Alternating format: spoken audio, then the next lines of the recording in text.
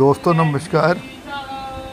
आज हम हथेली के बिल्कुल मध्य में राहु पर्वत पर बनने वाले त्रिभुज के बारे में कुछ भ्रांतियों को दूर करने का एक अच्छा प्रयास करेंगे।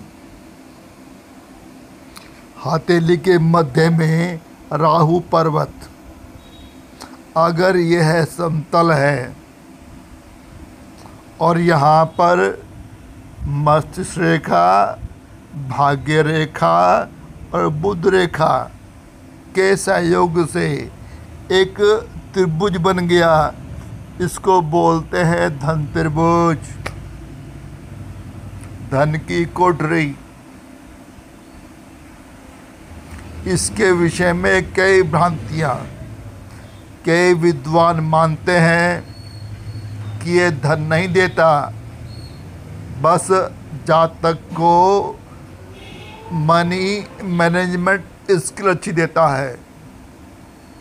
और कईयों का मानना है कि नहीं, धन त्रिभुज है तो धन अवश्य देगा। इन्हीं दो मतों के बारे में जो भ्रांतियाँ हैं उन्हीं को दूर करने की कोशिश करते हैं। देखिए, राहु पर्वत समतल। राहु देता है अचानक। इंटेलिजेंस भी देता है कंसंट्रेशन भी देता है। तो यहाँ पर अगर त्रिभुज बना, त्रिभुज अपने आप में धन का चिन्ह होता है। मंगल का चिन्ह। उभरता है तो जातक की ज़िंदगी में धन की संभावनाएँ बनी रहती हैं। क्योंकि इस धन कोठरी के निर्माण में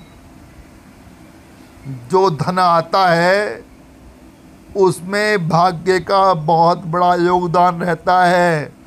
भाग्य से मिला हुआ धन। मस्तिष्क रेखा। मस्तिष्क रेखा को पुराने शास्त्रों में धन रेखा भी कहा गया है। जातक धन कमाने के जितने ही प्रयास करता है, उसमें मस्तिष्क की महत्वपूर्ण भूमिका होती है।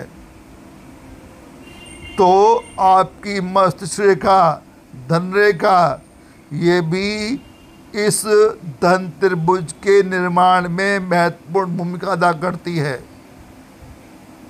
कोई अद्भुत आइडिया आना, उसका इम्प्लीमेंटेशन होना। आगे चलिए बुध रेखा।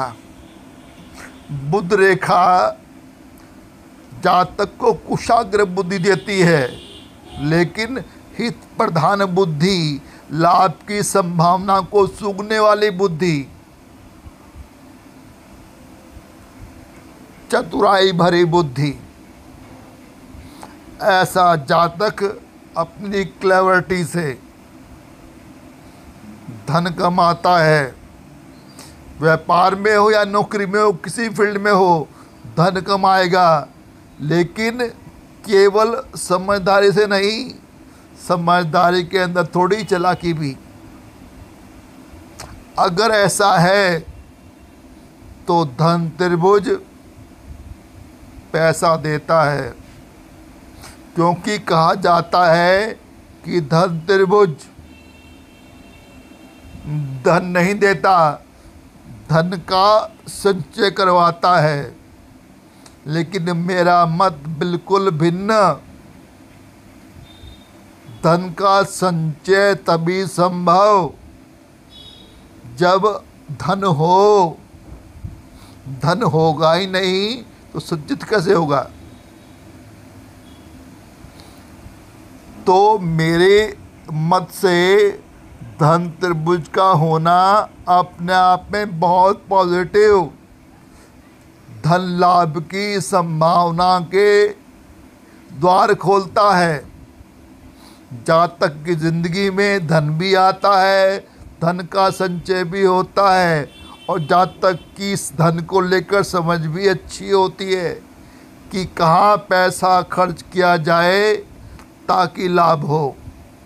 लेकिन कई बार हथेली के मध्य में धन की कोठरी, धन त्रिभुज बना होता है, फिर भी जातक के पास धन बिल्कुल नहीं होता जातक धन का संचय कैसे करेगा? ये कब होता है? यदि आपकी भाग्य रेखा पर पैंतीस के बाद कोई दोष उभर आए, मान लीजिए कट लग गया तो अब लगभग पैंतालीस के आसपास जातक को बहुत बड़ा घाटा होगा। प्रबल संभावना जातक के, जातक को बड़ी धन हानि हो सकती है। अब धन त्रिभुज कुछ नहीं कर सकता। अब धन त्रिभुज के पास पैसा नहीं आएगा तो पैसा बच भी नहीं पाएगा। ऐसे ही मस्तिष्क रेखा पर मान लीजिए दोष उत्पन्न हो गया, पैंतीस के आसपास। मान लो यव बन गया।